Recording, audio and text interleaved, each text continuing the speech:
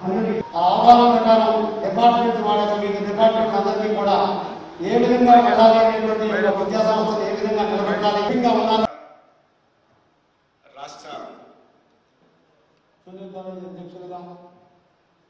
ఈ జిల్లాలో ఉన్నటువంటి అందరినీ మోటివేట్ చేసి అధ్యక్షులు మీ రామచంద్ర అదేవిధంగా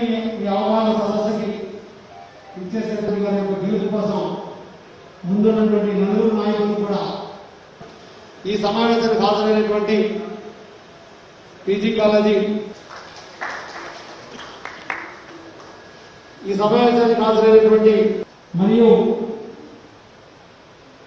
ఈ యొక్క ఎమ్మెల్సీ కాన్స్టిట్యూన్సీలో ఆంధ్రప్రదేశ్కి సంబంధించిన మూలాలు ఉండటం వల్ల మనం మన మన ముందు నుంచి మా ప్రభుత్వం కానీ పార్టీ కానీ